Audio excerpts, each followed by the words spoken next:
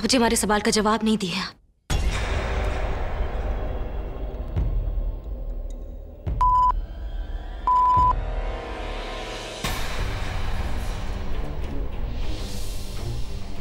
बाबूजी, जो आप पे बार बार हमला कर रहा है, क्या वो इस कमरा में मौजूद है? बाबूजी, आप हमें बताइए का वो इस घर में अभी मौजूद है?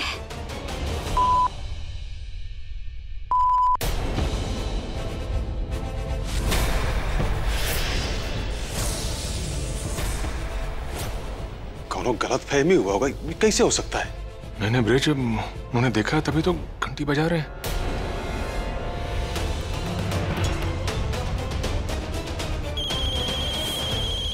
अरे माँ आप देख रही है ना कितना ज़रूरी सवाल जवाब चला। लाओ फ़ोन मुझे दो मैं स्विच ऑफ़ कर देता हूँ।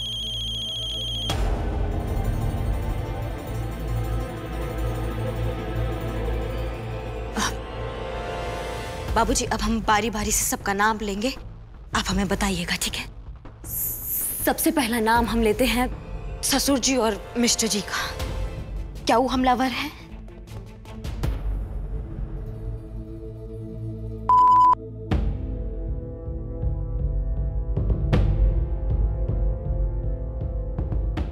अब हम नाम लेते हैं छोटे ससुर जी और सासू मैया का।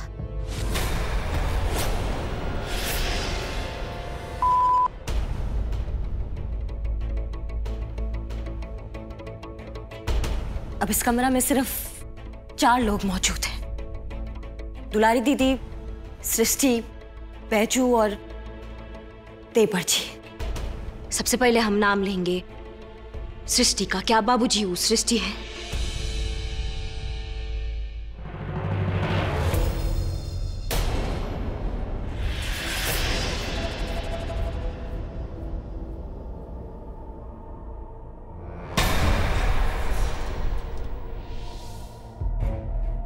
बाबूजी आप पे बार बार हमला करने वाली का सृष्टि है?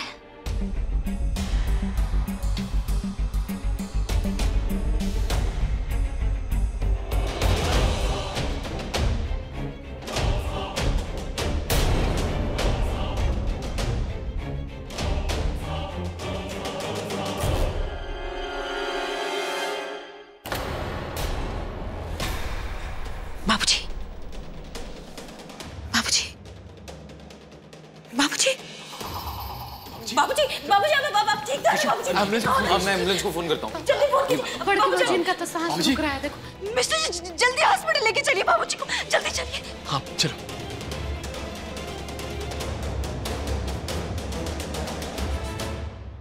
लेकिन घर का कौन आदमी हो सकता है?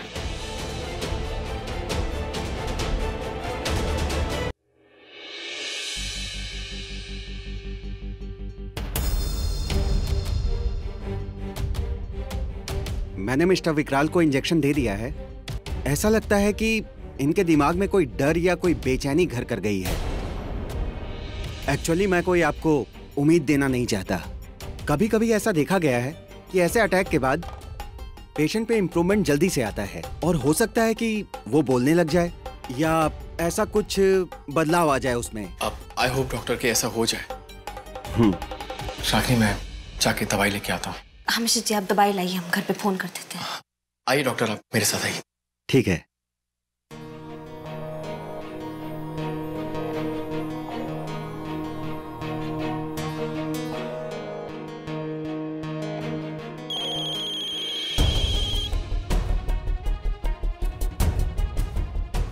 हेलो?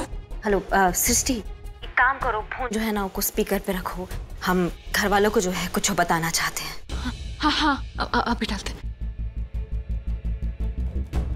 स्पीकर पे है फ़ोन। अभी अभी जो है हमारा डॉक्टर से बात हुआ है। और वो बोले हैं कि बाबूजी जो है अब एकदम है ठीक है। बोला जाता है ऐसे अटैक के बाद जो है ना वो रिकवरी बहुत फास्ट हो जाता है और बोलने का जो ताकत है ना वो बढ़ जाता है। तो हम यही उम्मीद कर रहे हैं कि बाबूजी हो सकता है जब ठीक होंगे तो बोलने भी लगेंगे। यहाँ पे ना बाबूजी से आज मिलने कोई आ नहीं सकता है। तो आप लोग भी जो है वो घर में आराम कीजिए। पराग भाई और अम्मा जी को भी जो है हम मना कर दिए हैं तो आप घर ही रहिएगा और हम यहाँ रुक रहे हैं सिर्फ़। मिस्टर जी आएँगे तो उनके हाथ से सिर्फ़ खाना भिजवा दीजिएगा ठीक है? ठीक है। चलिए अब रखते हैं आप सब लोग ध्यान रखिए अपना। ठीक है तुम तुम टेंशन मत लो रागिनी ध्यान रखना।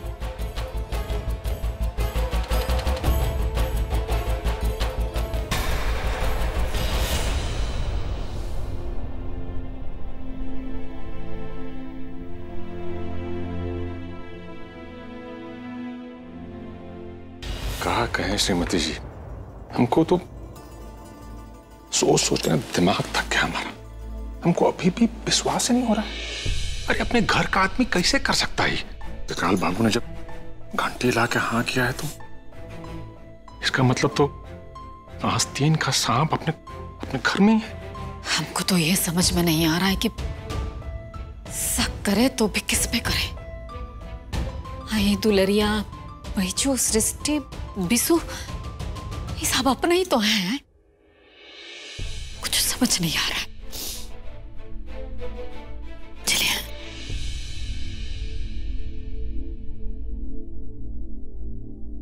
हमको पता है किसी का खाने का मन नहीं है बाकी खाना तक खाना पड़ेगा। अनुराग बाबू फ़ोन किए थे कहे हैं कि बड़की भौजी को ज़बरदस्ती खिला दी है। सिस्टी भौजी को भी खाना खिला दो कहा है कि इसे में भूखे नहीं रहना चाहिए। हाँ बेटा खाना खा लो। देखो ऐसी हालत में भूखा रहना ठीक नहीं है। जी पापा। दुलरिया ये बिसु कहाँ है? अरे वो विशु का सर में दर्द था तो दवाई खा के कमरा में लेटा हुआ है।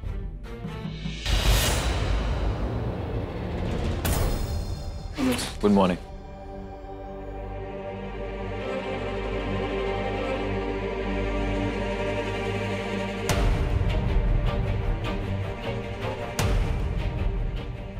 गुड मॉर्निंग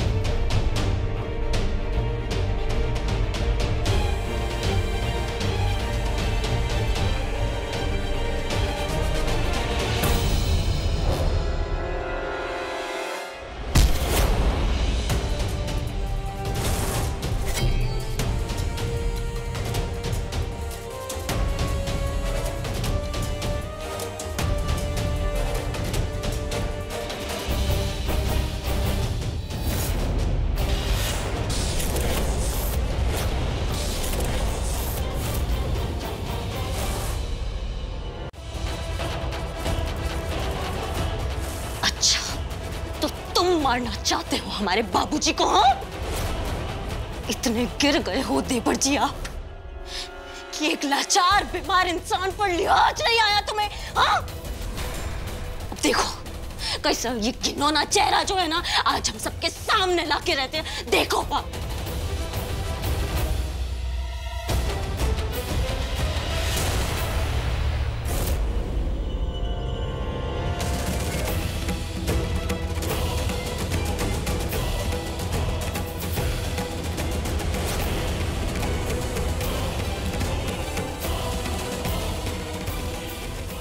बस बहुत हुआ आलू को छुपी का खेल। आज सारा किस्सा खत्म करता हूँ। इस पुट्ठे के साथ तुझे भी ऊपर भेजता हूँ। वैसे भी उस लाचार का ख्याल रखने के लिए कोई तो ऊपर होना चाहिए ना।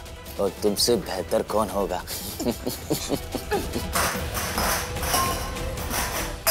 चिल्ला लो जितना चिल्लाना है।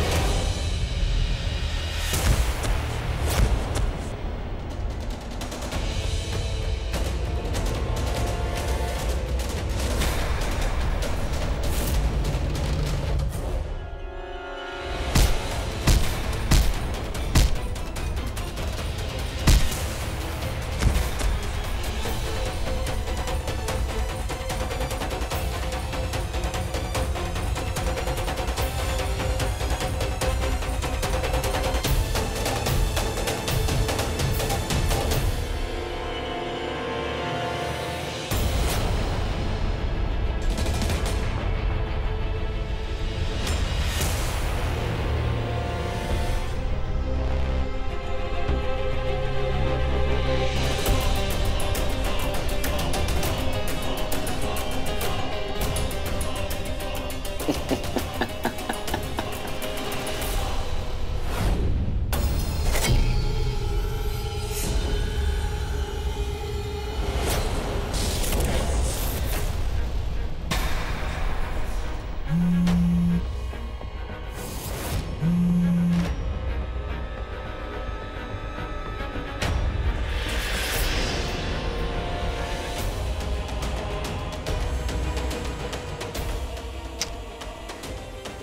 Ragini phone क्यों नहीं उठा रही है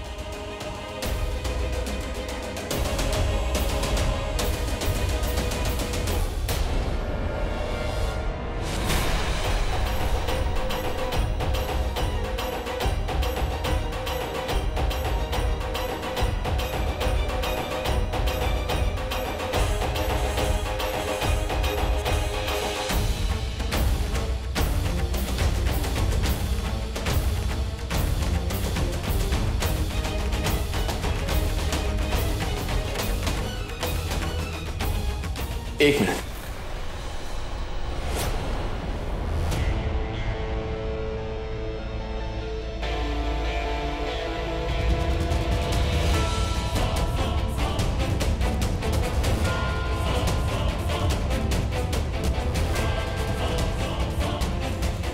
ये डॉक्टर सुजीत कहाँ मिलेंगे? हाँ, जी फ़र्स्ट फ्लोर।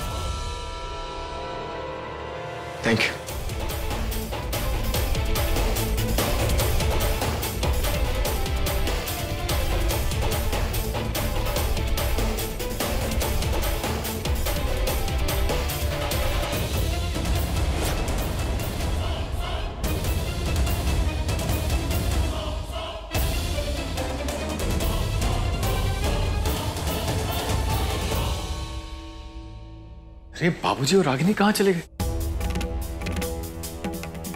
रागिनी फ़ोन भी नहीं उठा रही। फ़ोन करता हूँ। Please answer the call Ragini. कहाँ चली गई तुम? फ़ोन नहीं उठा रही। कहीं मैं गलत कमरे में तो नहीं आ गया? रूम तो वही है। तो कहाँ जा सकते हैं? डॉक्टर से पूछता हूँ।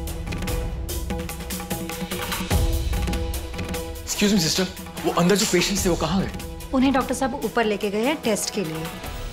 ऊपर टेस्ट के लिए लेके गए हैं। ठीक है थैंक यू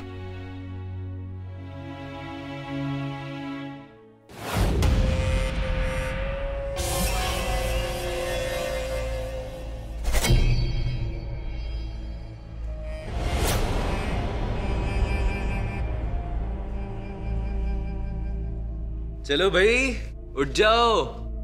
सुबह हो गई है। उठ उठ उठ उठ उठ। चलो भाभी उठ जाओ। ए बुड्ढे चल उठ। टाइम हो गया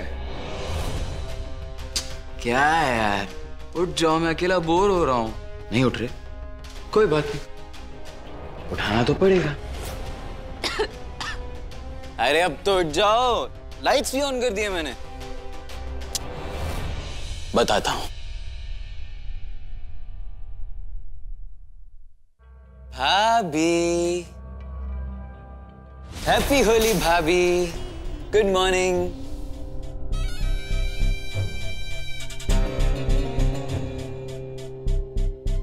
अरे बाबूजी। बाबूजी ले। मैं हम्म, हम्म, हम्म करके बातें किससे करूँगा ले। उठ। पी ले पी ले। और पानी पी और पानी पी। पी। शाबाश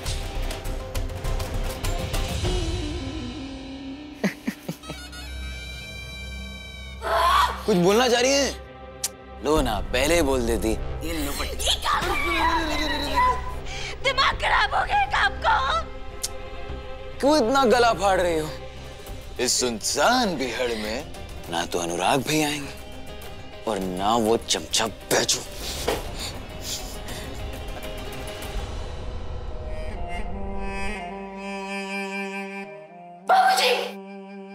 ए बुढ़े।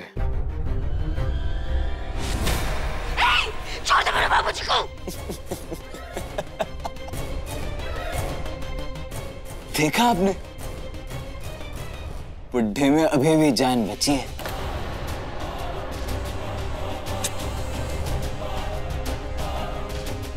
सक जाने वैसे।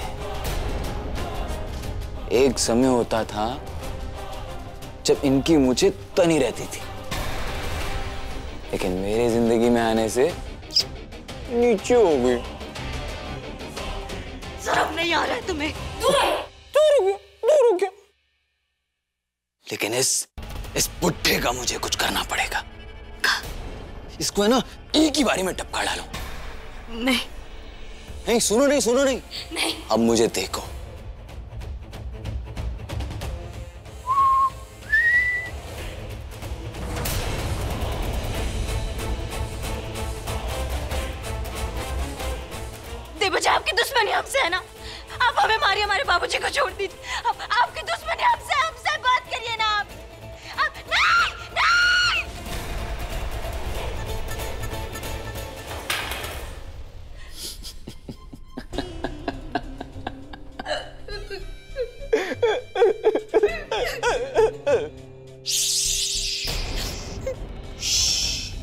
शांत अरे अनुराग भैया का फ़ोन है। Mister ji mister ji mister हाँ भैया। एक मिनट भैया एक मिनट।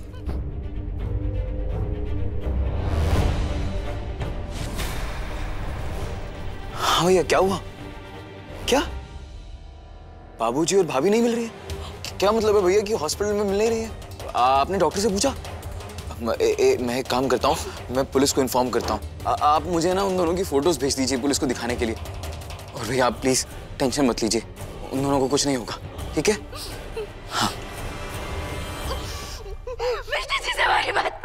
बात